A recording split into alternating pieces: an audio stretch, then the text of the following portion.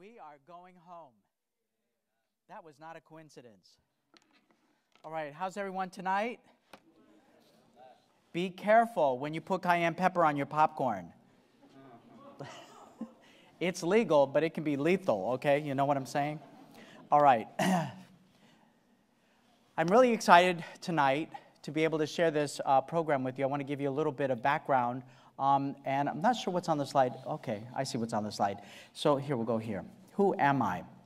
And I was actually invited to speak at an academy. And this academy had K through 12th grade. And so they said, we're going to allow you to speak to the children, you know, every day from 9 o'clock to 10.30 or whatever. And I said, well, wait a minute. You're going to have the K through 6th graders listen to what I talk to the, you know, 7th through 12th graders? And they said, yeah, is that a problem? I go, well, well, yeah, it is because I can't share with the with the K through sixth graders what I want to share with the older group. I said, but the little kids need something too, and they said, well, we'll just we'll leave out K through sixth grade, and you could just speak to the uh, to the young adults. And I said, no, no, wait a minute. The world is already trying to educate our children even before they get to school, and then once they get to school, then they educate them even more. I said, we need to have something for the younger kids. So the Lord really impressed me um, to kind of make it simple and make it plain. And how can we educate our children about identity and sexuality without instructing them? But how can we do that in a foundational way so that when they're exposed to the darkness, when they're exposed to the things that are untrue about God, that they would be prepared to be able to handle it, right? Isn't that what we want? Isn't that what we want as parents? Raise your hand if you're a parent of a young person. All right, raise your hand if you're a parent of an old person. Doesn't matter. Yeah, okay. So again, isn't that the challenge today? Is how can we educate our children so that we're not instructing them, but giving them the foundations of God about identity and sexuality to prepare them, you know, and to arm them for when deception comes. So that's what this program is about. I want to. I'm going to fill it in with some adult things, you know, so it's not too primary for you. But I also want to break it down and show you if you are a parent how you can introduce these concepts to your children in a way that is not going to harm their, their, um, um, their sensibilities and also instruct them in ways that they shouldn't go, but also to prepare them because isn't that our responsibility is to prepare them for the world that we're living in. So without further ado, I'd like to open with a word of prayer.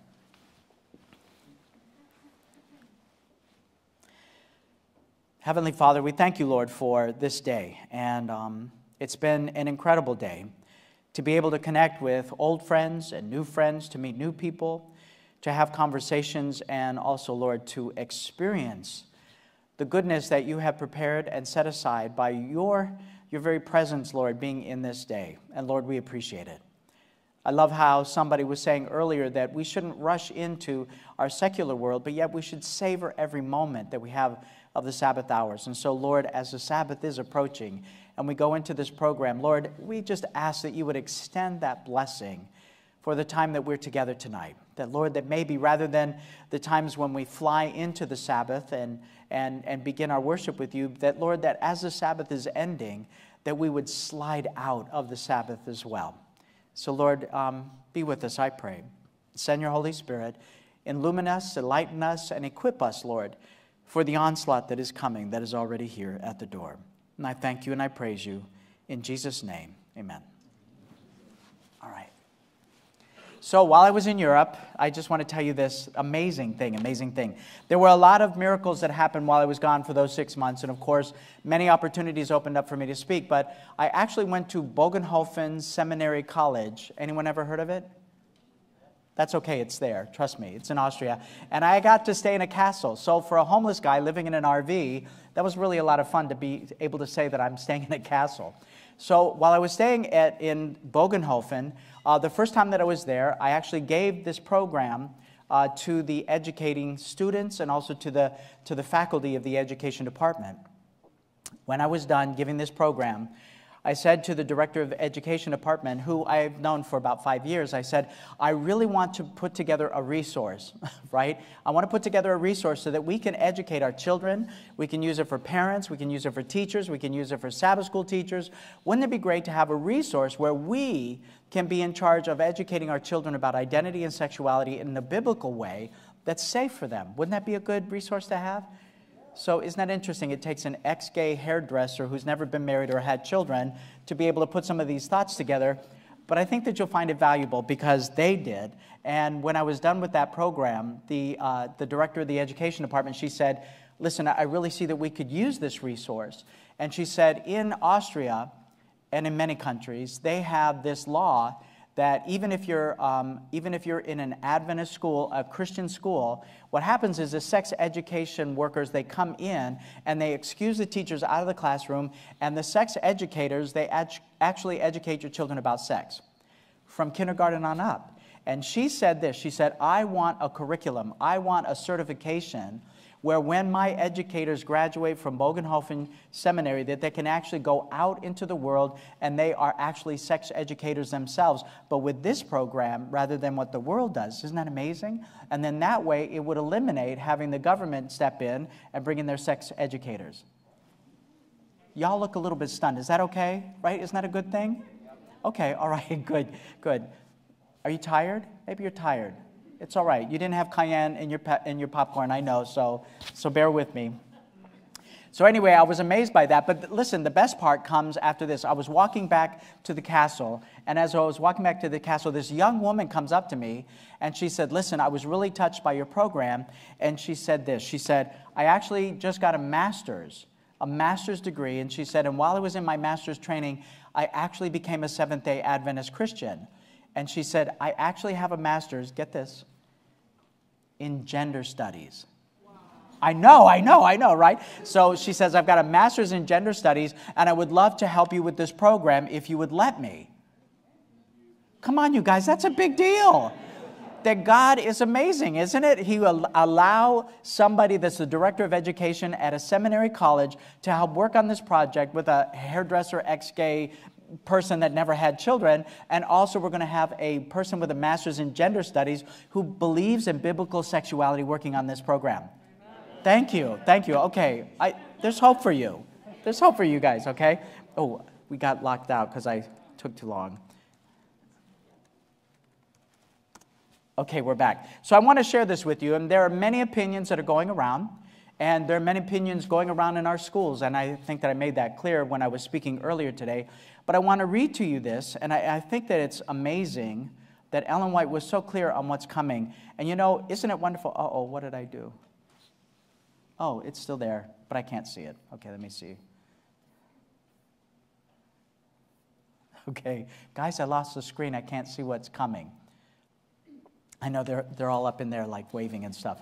That's all right, we'll figure it out. So I want to share with you this quote, but I can't read it to you. Oh, now it's not moving.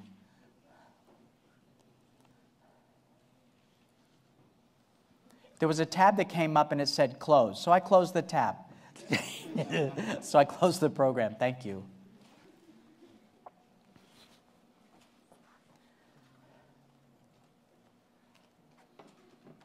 So if I come to your house, hide the cayenne, okay? Get rid of the cayenne.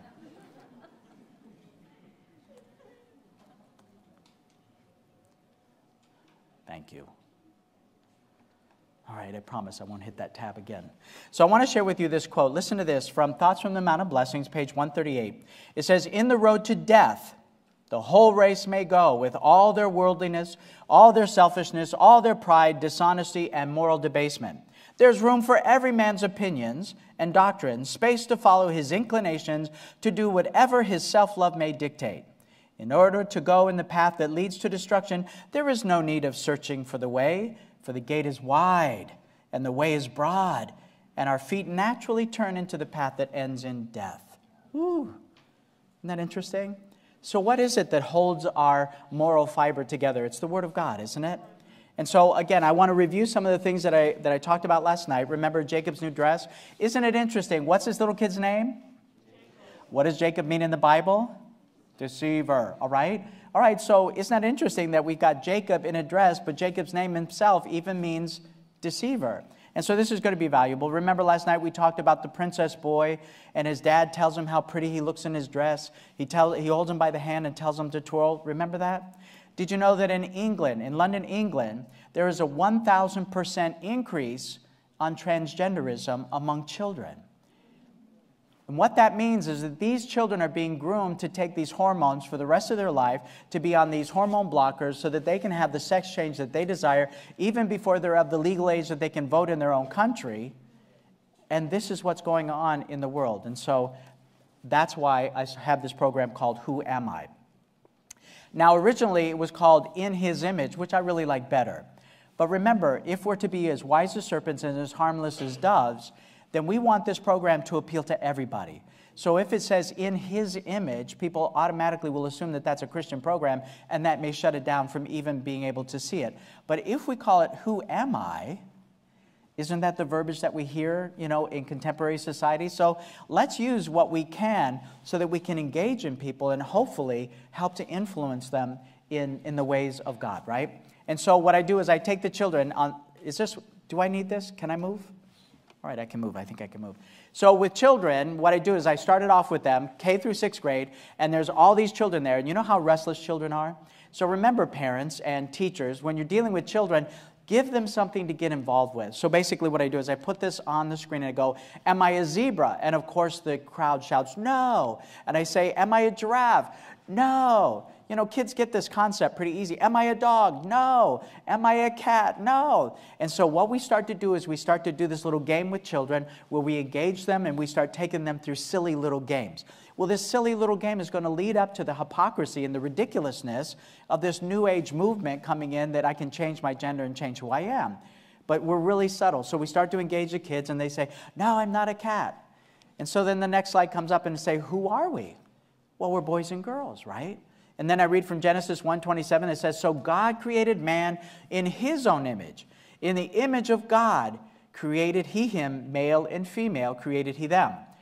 So again I just reason with the kids I go God made two kinds of people just two kinds. How many? Two. That's you guys are better than those little kids. And so two kinds of people, male and female. I say, so if you're a boy, stand up. And then all of a sudden the boys all stand up and the girls don't dare. You know, they just sit there. And the guys, you know, they stand up because guys like to move and they jiggle and they wiggle and they're moving around and say, Yeah, yeah, I'm a guy, right? And then all of a sudden I say, If you're a girl, stand up. So then the boys drop. They drop so fast because they don't want to be in that group. And the girls stand up. Am I right? Right? And so the whole idea is get them engaged. Let them participate. Let them be a part of the process. And every time that they do these exercises, you're imprinting in their mind that, yes, I'm a boy, or yes, I'm a girl. Does that make sense? Right? And then we also want to talk to them about the fact that God created his image in us, that we are also the image of God. And that's how he gave us boys and girls, two kinds. And especially with young children, you want to review this every day. You want to go over these principles so that these principles are, are embedded in their heart and in their soul. So, again, Genesis chapter 1, verse 10 talks about how creation was good. And you know, I kind of minimize this a little bit, not that it's a, a, a, little thing, but there's an emphasis that I want to put on a part. And so I say, you know what? After every day, when God was done creating that day, after the first day, after the second day, third day, God stood back and he said, yeah, this is good, right? That's good. But when he created Adam and Eve, look at this. In Genesis chapter 1 and verse 31, he said, When God created man and woman, he stood back and he said, Whoa, this is very good. Isn't that right? Come on, come on right? This is very good. Why? Because the image of God was expressly put into the relationship between one man and one woman. Why? Because it takes one of each. It takes one man and one woman sexually coming together because what happens when a man and a woman come together that are in a committed relationship under God and they have a sexual relationship? It makes babies. Kids even understand this concept. And so the beautiful thing is, is that God is a God of creation. God is a creative God. He speaks and things are created. And so God bypassed the angels, which were created a little higher than, than humans. And what he did is he gave the gift of creation to man, a characteristic of God in the relationship between a man and a woman. And that's not a dirty thing, brothers and sisters. That's a good thing. That's a blessing that came directly from God. And in that expression of creating life, is the very image of our Creator. Do you see how beautiful and profound that is? But you know, we in Christianity, it's like, calm down, Mike. You know, we don't want our kids to learn that that young. You know, we want to keep their innocence, right? So, how is it that we keep their innocence if we don't let them know that there's a great gift that was given to mommies and daddies and the establishment of the family, even in the Garden of Eden? It was never a dirty thing until sin came around, right? And so, uh, how, many of kind, how many kinds of people did God create? Let's see if my little images come out. Boys and girls. Isn't that cute? And so it's very simple. So, when God created only two kinds, and you want to stress this point, He only created two kinds, male and female. And then what happened? God told Adam, that Eve was to be his wife. Isn't that beautiful? And then marriage was created in the Garden of Eden. A very beautiful thing, a blessing. One of the two institutions that God established in the Garden of Eden. What was the other one? That's right, and we're experiencing that today. So God then told Adam and Eve to be fruitful and multiply. And then what happened? They had a sexual relationship and they started to get pregnant and they started to have children. And so this is a very elementary lesson, and I thank the lady that gave me these cords. And so we have two kinds. God created two kinds, male and female, right? And so what happens, what happens when these two come together?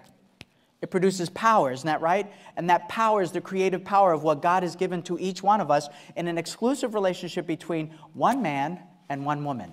So, what happens when two women come together? What happens? No power. Thank you. No power. And then what happens when two men come together? No power. And then what happens if a transgender person who's mutilated their sexual organs comes together? No power. Again, so the, this is a very simple element, and I think it beautifully explains how the image of God is created in one man and one woman through the marriage through the pregnancy, then through the family. And then what you're doing is you're letting your children know that fam- the family is a blessing from God mothers and fathers, brothers and sisters, sons and daughters. Isn't that beautiful? So, in a very simple way, we're establishing this. And then we can use examples in the Bible. Take some time and ask your children to show you examples of families in the Bible. It's very simple. Look at this Jesus was even given to Joseph and Mary, male and female parents. God has given man the gift to create life. Come on, that's worthy of something, isn't it? That's a huge thing. But I think that we minimize the beautiful gift of what God has given to us for fear that our children are going to learn something that they shouldn't learn, right? But let's move on. So we then talk about Lucifer. Lucifer fell from heaven right? And you can take it to uh, Isaiah chapter 14. It says, How you are fallen from heaven, O Lucifer, son of the morning. How you are cut down to the ground, you who weaken the nations. For you have said in your heart, I will ascend into heaven. I will exalt my throne above the stars of God. I will also sit on the mount of the congregation on the farthest sides of the north. I will ascend above the heights of the clouds. I will be like the Most High. Boy, that's some really pompous words, isn't it? So we want to really show our children that the desire of the enemy is to be in the same place as God, right? He says, uh, Yet you shall be brought down to, uh, to Sheol, to the lowest depths of the pit. I didn't really need to read that part. But the point being is that we know that there's an enemy of souls, and this enemy of souls wants to be in the position that God is in. And so imagine how an angel who was created higher than the humans was bypassed to have the very gift and the image of God placed into man where we can create life, but he cannot. Do you imagine how that made him angry? Imagine how angry the enemy got. So, if the enemy is angry because we got this precious gift to create life, which is an example of what the life giver gives, what do you think he's going to want to do to that gift? You guys are really bright. All right, so Psalms uh, verse 8, or chapter 8 and verse 5. For thou hast made mankind a little lower than the angels and hast crowned him with glory and honor. So Satan, of course, is jealous that we have this gift that is like God. So remember in John chapter 10 and verse 10, it says, The thief comes only to steal, to kill, and destroy. I came that they may have life and have it more abundantly. And so we want to make sure that our young people know that the devil is out there and he's going to try to steal, kill, and to destroy the precious gift that God has given to one man and one woman in a, in a, a committed relationship under God. Does that make sense? So we've given our children a whole lot. End of the first day. That's it. You guys can go home. But that's all right. We got four more days to cover. But isn't that beautiful? Is that a dirty thing? Did I, did I bring up something dirty? No, I showed the beauty of God and the blessings that He gave to us, the affirmation of two kinds, male and female. And those are principles that with your children, you're going to want to review as often as you can with examples so that these principles are in their sweet little mind. Second day, everyone is unique. Each one of us is unique. And yes, we recognize again, you might want to do a little review. All the girls stand up and then all the guys stand up and do this review. But then you want to talk about the fact that even though there's two kinds, each one of us is completely individual. If you separated all the guys on this side and all the girls on this side, we would look at each other, guys, and we would know that we're uniquely different from everybody else. Except for David, he kind of looks like me a little bit, don't you think? All right, so, so you want to establish these facts, but then we want to take it into a little bit of a different thing. We want to talk about the fact that each one of us was created differently than everybody else. That each one of us has fingerprints, right? And you want to show everybody your fingerprints, and you want to show your kids your fingerprints, and you want to look at their fingerprints and compare. It. Maybe you could do a little study where you put a little ink pad and everybody does their little fingerprints, and we compare them and say, hey, this is Johnny's fingerprints, and look at Alice's fingerprints. They don't match, they're completely unique. And all of this is, again, is to let them know that they're special to God that you were created by a loving God who, even before the earth was formed, He knew who you were. So God created each of us individually, totally unique from each other, but according to the Bible, He only made how many kinds? Two kinds, male and female. So, again, doing another review that God created male and female. But biology, now we want to switch it a little bit over to biology. DNA, the DNA that runs in your veins, is also your fingerprint. Did you know that? That you might scar your hand and you might change your fingerprint, but guess what? Your DNA inside your blood will always stay the same, and there are only two kinds of DNA male and female. Isn't that cool? So God's giving us another affirmation, another example that we are unique and separate, but yet there's only two kinds. So while each one of us has different DNA because of the parents that we come from, there's only two kinds of DNA, male and female. So now what I want to do is I want to segue into an area that's really difficult for young kids. And as somebody who is tortured by bullying in school, I want to segue to the way that kids view each other. And so the next thing that I want to talk about is there are differences for males.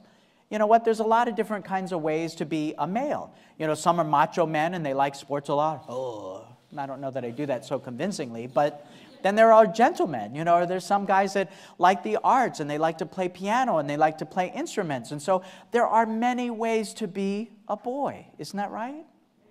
And so we need to celebrate those differences. And maybe in a classroom setting, you can celebrate those differences and you can say, oh, you know, little Eddie, he likes to play the piano and he's really good at that. Or, or little Catherine, or we're going to talk about guys. So, like maybe uh, Timmy, he likes to play four different instruments. Or maybe um, Johnny likes to sing in the choir. And then there's other kids that like sports and they like to get out and they like to uh, run around in mud. Now, I was the type of kid, my hair was never messed up. It was always perfect when I came home from school, but that was just the kind of kid I was. But again, because I didn't feel like I measured up, that I didn't, uh, I wasn't like the tough guys in school, I wasn't picked for the, to the sports like they were, I felt inadequate as I was. And so what that did is that moved me into thinking that maybe I would be better off defined as a girl. So, what we want to do is we want to celebrate the differences of boys. We want to teach children not to make fun of kids that aren't like us, but instead to include them. We include you because you are a guy, you're a boy. It doesn't matter what you like to do, right? And so we want to do the same thing um, for girls. There are many ways to be a boy. So there are differences in females. You know, we have some girls that are girly girls and they like lace and flowers and all kinds of things. And then there are sporty girls, or girls that like to climb trees and, and, and, um, and play sports and things. It doesn't make you less of a girl. And we want to talk about those distinctions. And again, to give the children an opportunity to recognize that just because you're a girl, you're included, right? Because again, the Bible says that our words have the power of life and death. And for the first 12 years that I was in early education, I went to 10 different schools within those 12 years. In third grade, I went to three different schools. And you know what? Every new year was a crapshoot. I had no idea if I was going to be accepted or picked on. As a matter of fact, in seventh grade, I had to be protected by these two big black girls in my school because the other kids, they would kick my books out from under me or beat me up. So these two girls would follow me to my classes to keep me from getting beat up. It was a really rough year. And so, again, we want to make sure that our children learn early on that our words have power and meaning and that there's a zero tolerance for bullying, but that doesn't mean that we throw out the truth of God. Instead, we establish the truth of God as it is and that there are many ways to be a boy and girl. Isn't that beautiful? Okay. All right, so then, then thank you, Joyce. So then my next point is I say, hey, do you like to dress up? What kid do you know that doesn't like to dress up? Let me give you an example. I love this example. My nephew, a cute little three year old kid, right? He's running around in the house, and his mother got him this, this DVD, and it was Samson and Samson. Yeah, it was, the, it was the story of Samson. So on the back cover of this DVD, it shows Samson with those big muscles, and he's holding this huge rock, this big square rock, and the look on his face, you know, he's straining. So he's got this look on his face, that kind of looks like a smile. My nephew interpreted that as a smile. My sister, she went to the store and she found him this muscle shirt. So it was like flesh colored, but it had muscles built into it. And my nephew, he would wear that every day for several hours. And he would take the sofa cushion off the sofa and he would walk around the house holding that sofa cushion above his head with a big smile on his face, like this. Because he was imitating Samson, right? I mean, it's cute, isn't it? So, again, kids like to dress up, kids like to pretend, and God gave each one of us a great imagination. And let me put this plug in at this moment that when children don't know the difference between imagination and real, then what right do we have to tell children that they can choose their sex or their identity? What they need is reality.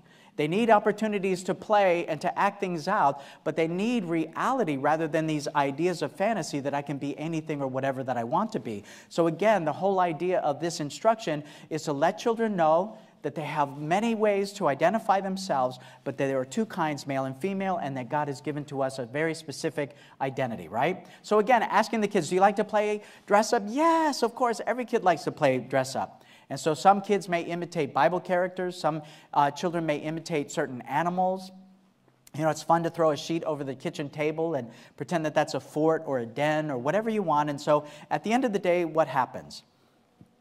We take off our, our costumes and we put them away. So at the end of the day, you know, we may be able to pretend, we may be able to act like we're something else, but again, when we're done playing, what do we do? We take up our costume and we put it away, and then I become Johnny again, right? So, this is a very, very, very important principle that we want to in, in, instill in our children to let them know that yes, we can pretend by the way we make our appearance, but at the end of the day, we're still who we are, who God made us to be, male or female, right? With unique DNA. So it's fun to pretend. We want to go through a couple of these things. It disguises who we are, but does it really change who we are? And process with their children, and they go, Yes, I love to pretend, but no, it doesn't change who I am. It gives us the appearance of something or someone else. Sometimes our disguise can really fool people. But again, at the end of the day, we take off our costumes and put them away, and then we're ourselves again. Unfortunately, many children have a very difficult life. And so when they take off that costume and they put it away, it's very difficult to be who they are. We want to be exceptionally sensitive to this but we also want to let them know the reality is that we, it is unchangeable. We can't change our DNA. That's our fingerprint. That's who we were made to be. All right, regardless of, of what we may be going through. Genesis chapter 27, I think, is a very powerful lesson on this, using the Bible whenever we can. And isn't it cool that God has given to us through these stories of the Bible that we can use in our everyday lives with our children? I love it. You don't have to agree with me, but I still love it. So, anyway, with, um, with, with Jacob, we want to talk about the fact that Jacob's name means deceiver, supplanter, right? He was a liar. And so, what did Jacob do? He disguised himself, didn't he? And what did he do? He tried to disguise himself as his brother. And what did he do when he used that disguise? Did he use it for a good thing or a bad thing? Very good. He used it as a bad thing, and he tricked his father into giving him his brother's birthright. And so, what happened because he disguised himself? Some bad things happened to Jacob, didn't it? And we want to process that. And some of the bad things that ha- happened to Jacob is that he was never able to see his mother again. And then when he did see his brother, his brother wanted to kill him. And so there was some really negative things that happened because he disguised who he really was and took something that didn't belong to him. Powerful story. And when we use this, we want to let our children know that it's important how we represent ourselves to other people. Isn't it interesting that in Deuteronomy chapter 22 and verse 5 it says, "A woman shall not wear that which pertains unto a man, neither shall a man put on a woman's garment, for all that do so are an abomination unto the Lord thy God." So let's be very clear about this. Parents, sisters, when you dress up your little brother as a little girl and you put him in those cute little clothes, it's not funny. It's not cute. You're committing an abomination. Have I made myself clear? Because I, I see this happen all the time. I see pictures that are posted of somebody dressing up their little brother as a little girl, and you don't understand the power of what that does to a child that may be struggling with an identity issue. Like I said yesterday, when my aunt would tease my hair and style it like a woman in the mirror when I was six years old, it gave me this incredible power, this feeling that maybe one day I would be convincing as a little girl. When we start implanting those thoughts and those feelings inside little kids, whether it's boys dressing up as girls or girls dressing up as boys, you're setting something in motion that your children may not be able to stop on their own. It's not funny, it's not cute. How about the man yesterday, Walt Heyer, who was dressed up as a little girl by his grandmother? Every weekend she had him and she would make these beautiful dresses. By the time he was seven years old, their little secret was out. She never dressed him up again, but already what was set in motion in Walt's mind was that he was valueless as a boy and his only value to his grandmother was as a little girl. Something was set in motion. All right? So again, according to God, it's important. It's important that we that we um, separate ourselves and that we make it very obvious those who are boys and those who are girls. Let me give you a, an adult version of this. You know, there's a big issue going on about women's ordination, and I'm not even going to touch that topic, but I want to be very clear from, from a, an ex homosexual, ex sex addict's perspective. When I came into the church, I said, Who cares? You know, let the women run the church. I probably do a better job. You know, you give all the men the day off in church, and, you know, the women, they, they run a lot of things anyway. They could probably do a very good job. However, God was very specific in how he, on how he laid things out, and I'm a beneficiary of that. Because when I came into my church culture and I went to the first uh, foot washing that they had at my church, there was a man that came up to me and asked if he could wash my feet. And as he started to wash my feet, and because I was so used to, to being uh, avoided by the men, afraid that if I shook their hand, they, they might get something on them, this man was not afraid to wash my feet. And as he washed my feet, he just said kind words, and the Holy Spirit was working. And then this room had only four other guys in it. It was a very small church.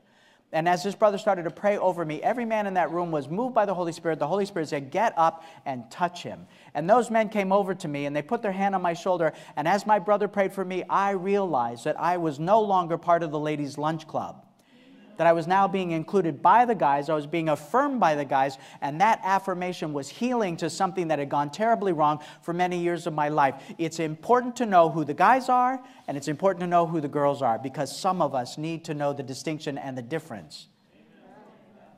Isn't God amazing? He's not the author of confusion, He's the author of peace, right? Okay, end of the second day. Isn't this fun? Okay, good. You're with me. So, again, who am I? Third day, the flood.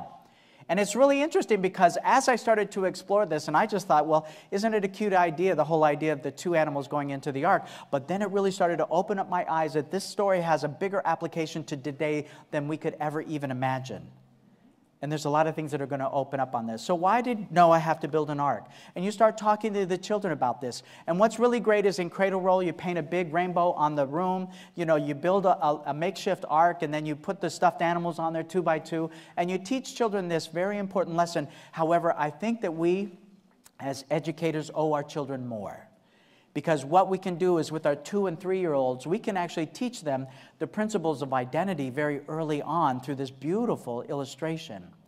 So let me demonstrate. So again, how many did God call into the ark? And the children shout, they go, two of every animal. And I said, that's right. And who called the animals? Genesis 6, verse 19, and of every living thing of all flesh, two of every sort shall thou bring into the ark to keep them alive with you. They shall be male and female. Again, this is another affirmation that God created how many kinds? Two, that's right, male and female. And I said, okay, so they all the animals came in two by two, right? I said, what if God brought in two females? Is that what he did? And the kids go, no. And I said, well, was it two boys? No. Well, what was it? And they go, a boy and a girl. And they go, why? Why would God bring in a boy and a girl? And the kids in unison, in their simple understanding, who understand this much better than adults, they say, because they need to make babies. And I go, that's right. It's beautiful. Your children will do the story for you. And so, what's beautiful is to affirm the fact that God called the animals two by two into the ark right? And you can do a little illustration. You can remind them of their stuffed animals. You can show them two animals going onto the ark, a boy and a girl. And there's some other examples that we'll do a little bit later. But again, that principle is so elementary, and you can use this in a powerful way, again, to affirm God's design. So, Genesis 7, verse 9, there there went in two and two unto Noah into the ark, the male and the female, as God had commanded Noah. Now, now it would be a construct to basically say, you know what, that was Noah's deci- decision to bring in, you know, two animals, one of every kind. But uh uh-uh. uh What I love about Ellen White, what I love about Spirit of Prophecy is she gives us just a little bit more. Don't you love that? Come on, come on. Do you? Let me give you an example. I was really upset. Do you remember the uh, demoniacs? Right? Do you remember them? And thank you, Ellen. It was two, not one. So, anyway, um, she says that there were two demoniacs in that graveyard. And when they were healed, when Jesus was sitting them and they were in their right mind, as I read Ellen White's description of them, they had lost their manhood in making life a grand carnival. Guess what? That was me. And so I relate to those demoniacs. And as I was relating to the demoniacs, and Jesus was there healing, and he wasn't afraid of them, and they had lost their mind, as he was sitting with them in their right mind and he was getting ready to leave, they begged him, they said, Jesus, please take us with you. And he said, No, stay here. And you know what? Tell your story in the city. And I'm telling you, for somebody like me, I was really upset by that. I really questioned even my faith, and I thought, these guys wanted to be with you. Picked those 12 lousy guys, and they couldn't even get along together, and here's two guys begging you to stay with you, and you won't let them stay with you. Can I get a witness? when I read what Ellen White wrote about those demoniacs. And she gave me just enough, and I believe that that was written just for me, if not for anybody else. She said that if they would have been with Jesus, they would have been in his company. But instead, because they obeyed the Lord and they told what they had seen and what God had done in their lives, she said this their work that they did in that city, they became the first foreign missionaries. And she said that as they were witnessing about what they had done and experienced, uh, in that city that they were as close as if they were in the very presence of Jesus Christ. I dropped to my knees right then and I thank God for just that little bit of extra because it helped me know that Jesus wasn't casting them away, that He was closer to them in their work as if he, they were in His very presence. Wow. Wow, isn't that beautiful? Okay, so again, let me come back to the story. So, um, so patriarchs and prophets gives us just a little bit more. And in my, in my what fifty some years of living, I didn't know this principle. Maybe many of you did. But this is what she said Beasts of every description, the fiercest as well as the most gentle, were seen coming from mountain and forest and quietly making their way toward the ark. Quietly making their way toward the ark. Animals obeyed the command of God guided by holy angels, not Noah, they went in two and two unto Noah into the ark. Let me ask you, brothers and sisters, if you were an antediluvian and you saw the animals coming on their own, lining up in file, right? Cows and chickens and tigers and horses and elephants, two by two, just coming out of the woodwork and all of a sudden working towards the ark, would you not know that something was up? Would God have to write you a personal letter to let you know something's going down? And yet, isn't it sad that only eight people got on that ark? And so, again, God is very plain, and He gives us plenty of evidence to let us know exactly what His intention is for us. And we want to make sure that we, we show those points to our children at any time that we can. So, again, who did God tell to get on the ark? Everybody, right? The invitation was for everyone. And so I asked the kids, I said, So who got on the ark? And they say, Noah and his sons. And I go, Is that all? And they go, No, you know, Noah's wives also came, or Noah's wife also came. And I said, All right, well, what about his sons? Yes, their wives came too. They know this story. And I said, Well, why do you think that Noah's sons brought their wives? So they could have babies. Again, these kids, they know this. So again, you want to let them know that they're, that they're smart. You want to reward them. You want to say, that's great. You understand the principle. And to use this as opportunities to affirm again the, uh, the, the combination of one male and one female, right?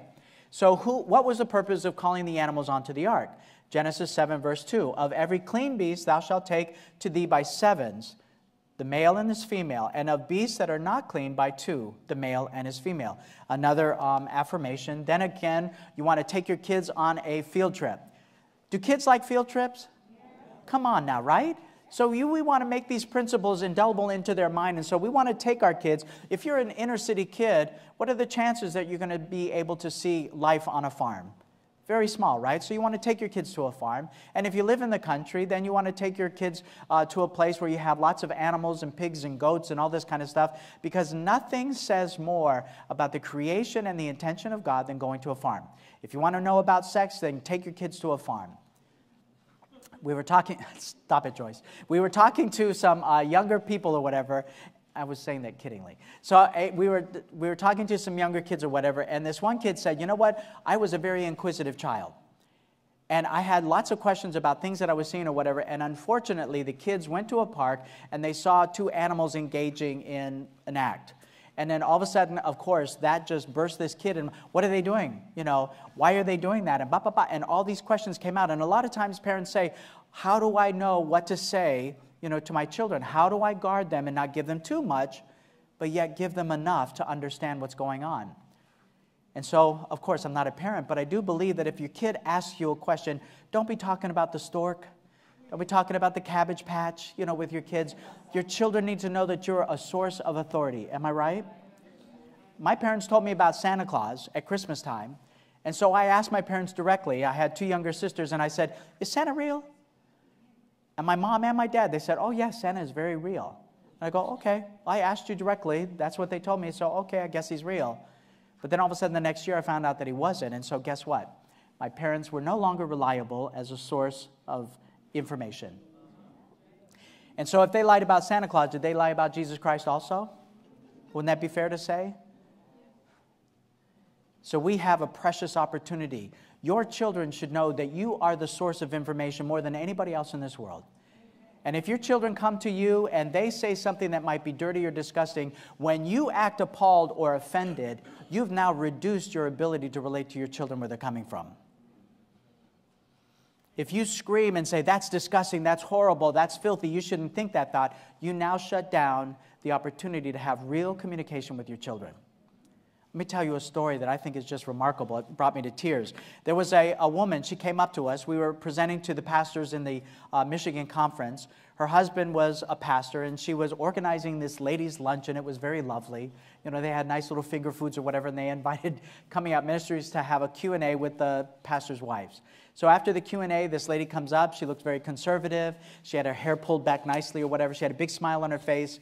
Betsy, are you here? Is Betsy here? Anyway, she looked like Betsy. So that's, you know, this very lovely lady. She came up with this big smile and she said, You know what? I understand exactly what you were saying. And my colleague and I, we looked at her and said, Come on, please. You? You understand what we've been through? And she started to share with us. And she said, I was raised in a good Adventist home. I don't know why, but at five years old, I came up to my mother and I said, Mother, I want to see a naked man. I know. But her mother didn't overreact. Instead, her mother became clinical and she said, Well, I don't really have a naked man to show you. I guess we could ask your father. And the girl said, No, no, I don't want to see father. And she said, Well, men have more muscles than we do, and men have more hair than we do. And what she did is she gave her enough information to satisfy her curiosity, and she moved on. But she did not belittle her daughter. She didn't shame her. She didn't make her feel bad. Instead, she answered her question clinically and moved on. You're going to love this part. So, several years later, this little girl had grown up. She was probably about 12 or 13, and she had younger brothers and sisters. They were cleaning out a house as a, a, missionary effort. And as they were cleaning out the house, she opened up a cupboard, and there was a centerfold of a naked man, a lumberjack, wearing nothing but a smile. She ripped that poster down, she hid it, and what do you think she did with it? She said, Mother, look, a naked man. if she was shamed and belittled for her earlier question, she never would have run to her mother. Maybe she would have run to her friend. Maybe she would have run to a boy in the neighborhood. You, are you following what I'm saying? But because her mother made herself a source of information that she couldn't be shamed by, that her mother would tell her the truth and tell her it in an honest way, that's what she did. She brought it to her mother and she said, Look, mother, a naked man. And her mother didn't overreact and rip the poster off and say you're shameful and spank her and punish her or whatever. Instead, she said, Well, you've always wanted to see a naked man. There he is. and she said, Well, look at that. Wasn't I right? Doesn't he have more muscles than we do? Yes, mother, he does. Doesn't he have more hair than we do? Yes, mother, he does. And after they addressed all of the biological differences between men and women, then she did the remarkable thing and she said, But look at his face. What's he doing? Well, he's smiling, mother. What do you think he's smiling about? I don't know. Do you think he's a Christian? I don't know. Do you think he's married? Do you think he holds the door open for his wife? Do you think he has children? That's when I started to cry. Because what she did is she affirmed the physical, but then she brought it back to the spiritual. And what she did is she took this example of something that was hideous and heinous, but what she did is she, she baptized it in the Holy Spirit and she brought her daughter's thoughts towards the spiritual rather than to the physical to affirm the fact that when you pick a husband, it's not about the hair and the muscles, it's really about what goes on in between their ears. And are they a good person and are they dedicated to God? And that's when the tears came out of my face because as a little boy struggling with my identity, thinking that I was a girl, my parents weren't safe. Are you? If you're a parent, are you safe?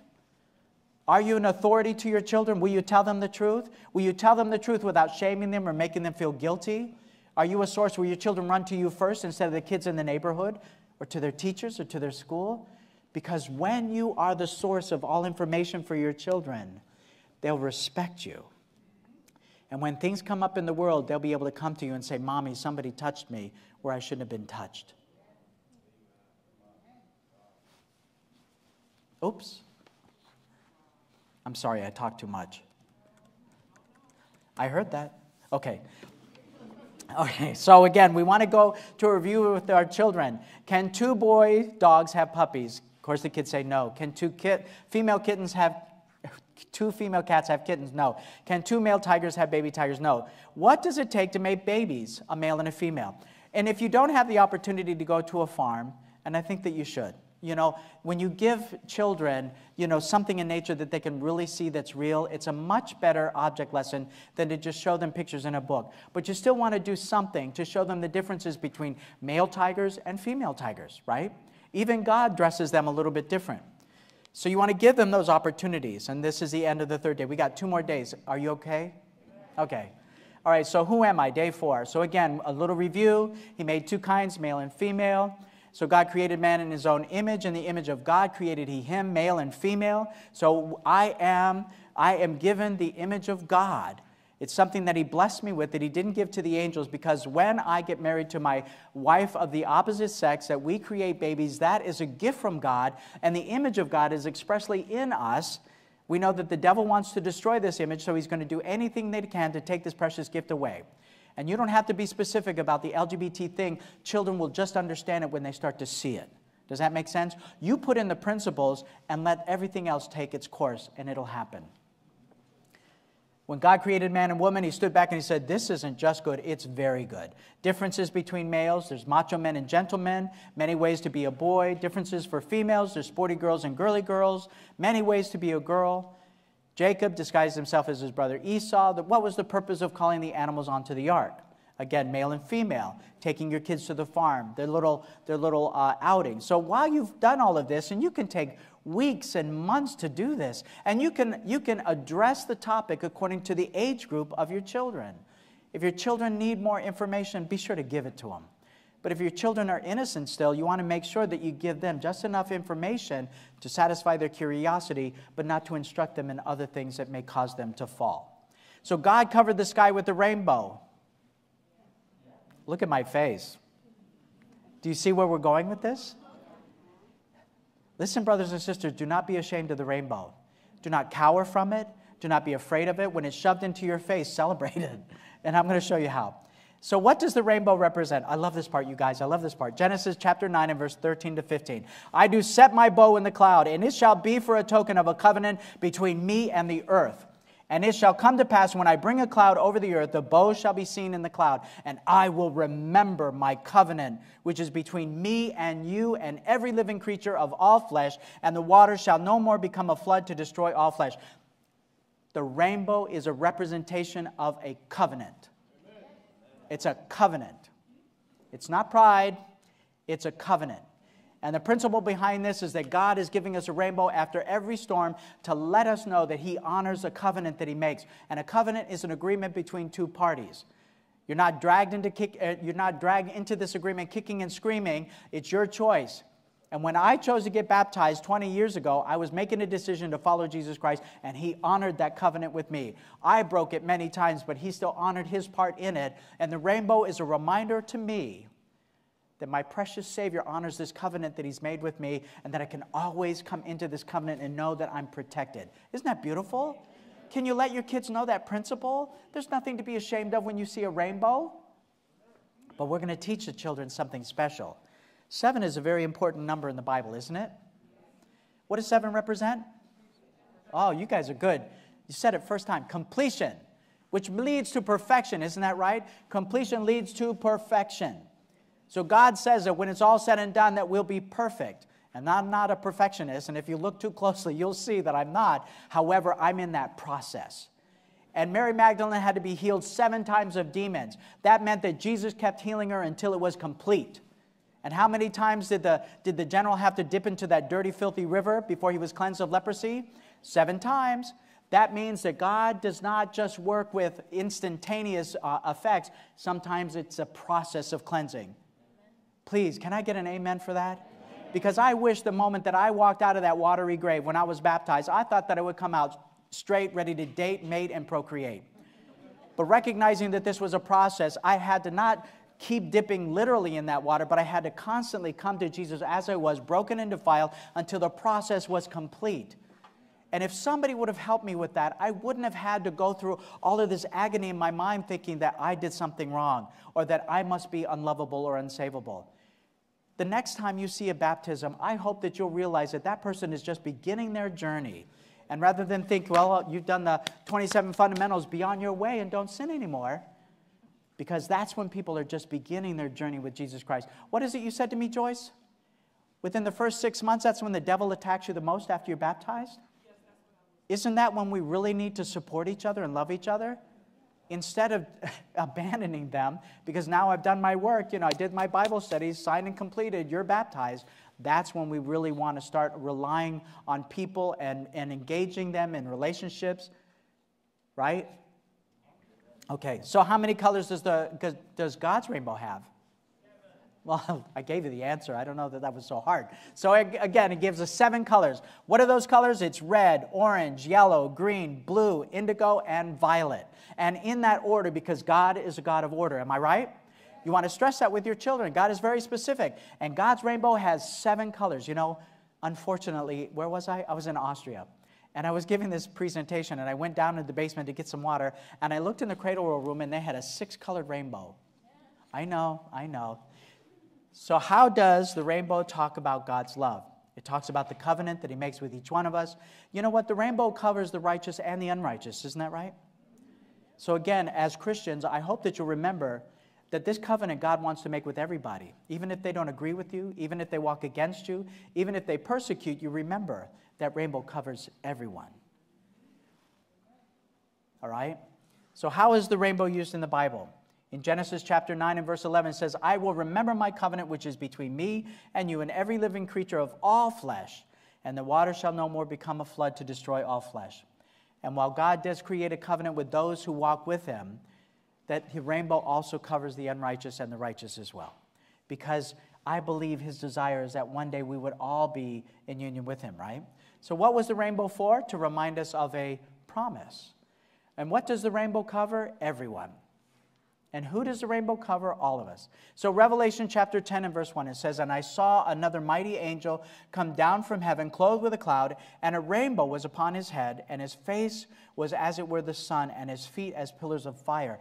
That's how important the rainbow is, brothers and sisters. It started in Genesis, but when Jesus comes again, there's going to be another rainbow over his head. Something that just hit me when I gave this presentation just a few, few days ago is the thought that we know that the devil is going to imitate the coming of Jesus Christ. Isn't that right? Would it surprise you if that included a rainbow? And what if that rainbow didn't have seven colors? I don't know, it's just a thought. I'm not prophetic. So, Revelation chapter 4 and verse 3, it says, And he that sat was to look upon like a jasper and a sardine stone. And there was a rainbow round about the throne in, in sight, like unto an emerald. So even the throne of God is going to be covered by a seven colored rainbow. We want to make sure that our children understand the seven colored rainbow. Let them draw that on paper. Let them paint with their paints. You know, take out their crayons. Make sure that they have all seven colors and in the proper order. Teach your children how to identify a rainbow so that when they see a six colored, four colored, or a two colored rainbow, your children will know and they'll say, wait a minute, one, two, three, four, five, six. That's not God's rainbow.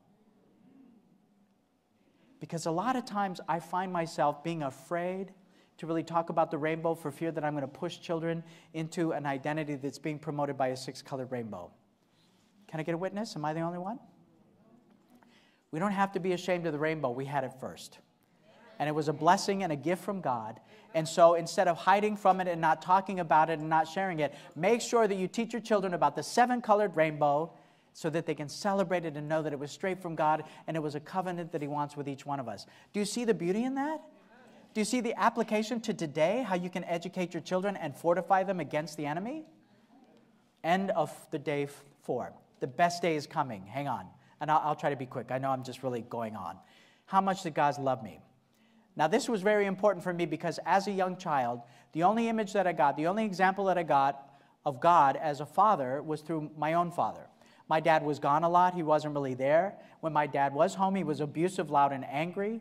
And so I put those characteristics on God up in heaven, thinking that, well, I have a father and I know what he's like, so you must be the same way. So as a little kid, I wanted to do things right, I wanted to be a good kid, but I learned that God up in heaven, I had to treat him the same way I treated my dad.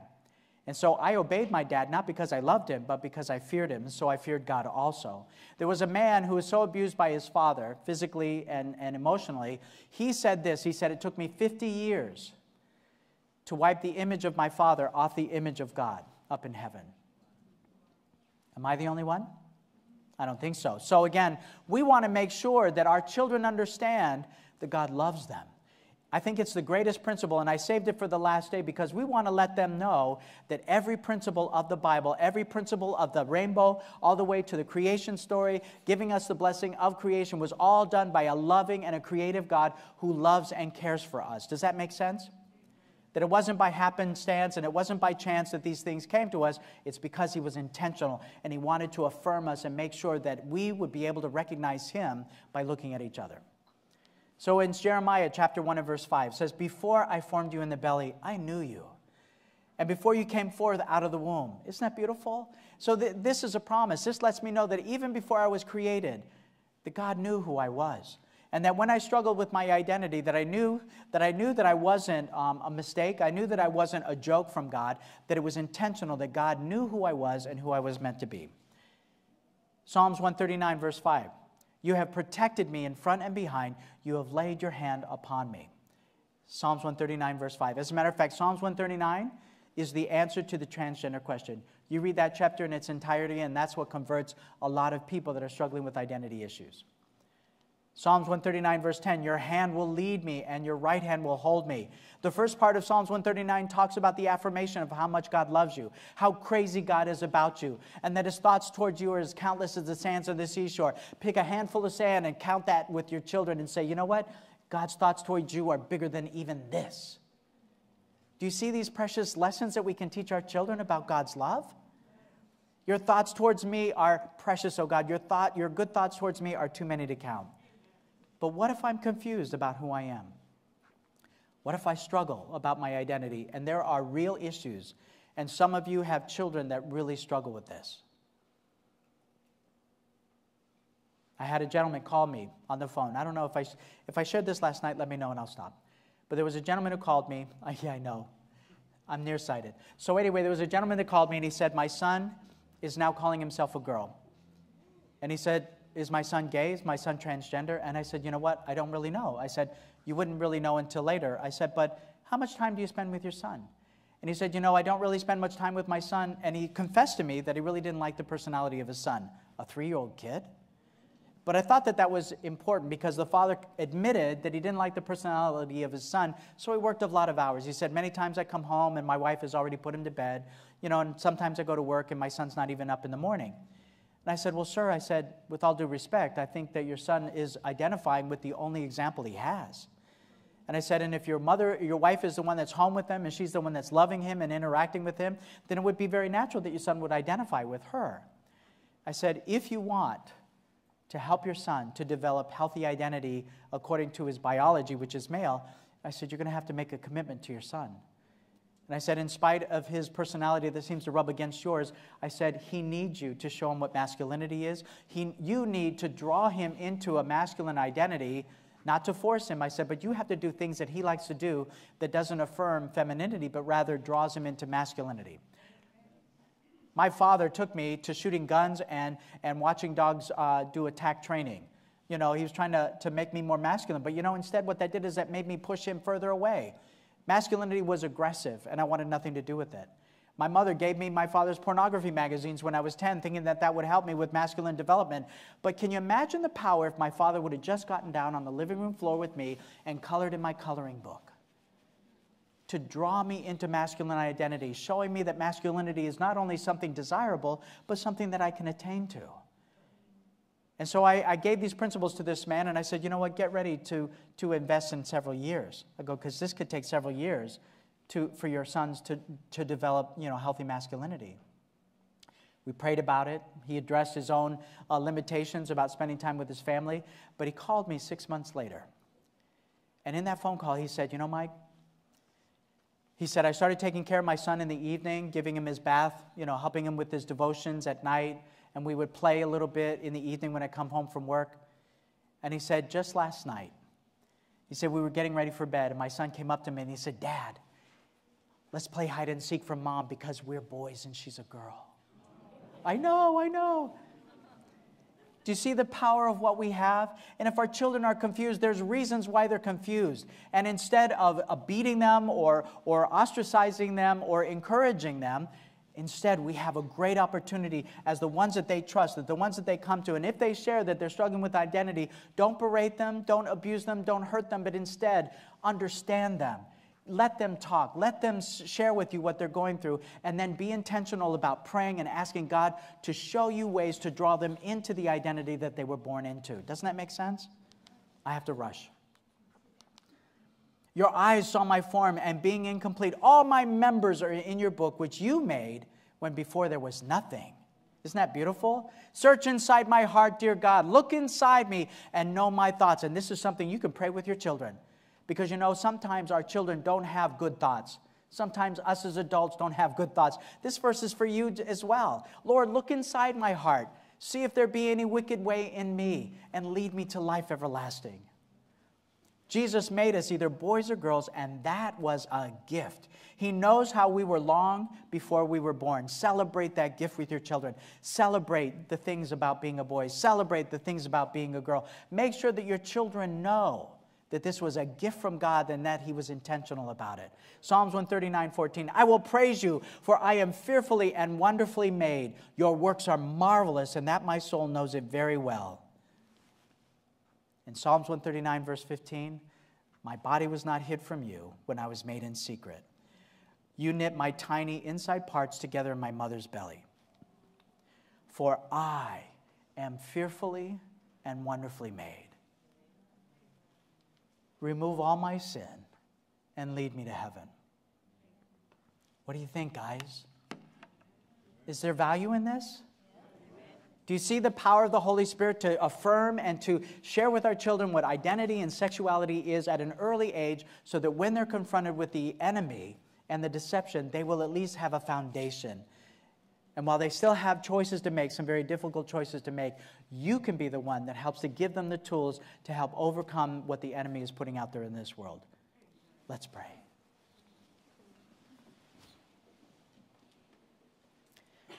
Thank you, Lord, for this time that we've had to share tonight. And I thank you, Lord, for these principles that you have shown me through my own personal example, my own desperation, Lord, to really answer these questions that I've had since I was four years old. But I know, Lord, that there are many questions that these parents probably have. I look forward to the question and answer period that we have tomorrow with David. I ask, Lord, that you would, um, that you would give us good rest tonight, that you would help these principles to sink in. And for parents out there that have children that are struggling, for parents out there who maybe didn't understand these principles and, and lost the opportunity to share them with their children, Lord, it's not over because your power is still available for each one of us. Help us, Lord, to know that all power and all authority was given to you when you rose from the dead, and that, Lord, that we can hold on to that power and claim that for our children until they come home. So until that moment, Lord, when we can receive you with both arms, I pray, Lord, that you will keep us and that you will implant these principles in our heart, and that, Lord, that our children will be safe and that they will be guarded, Lord, by the information that we give them rather than what the world gives them. I thank you and I praise you, Lord, in Jesus' name. Amen.